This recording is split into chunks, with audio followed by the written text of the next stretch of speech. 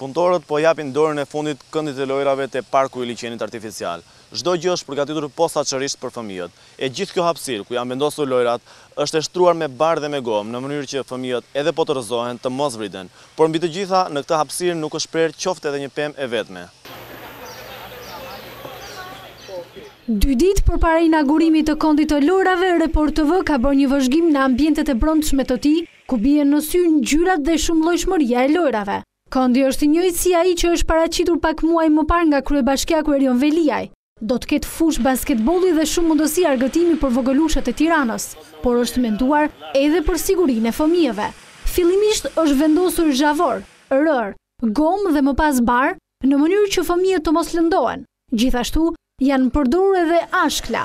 Poshtë barit është vendosur gomë e butë.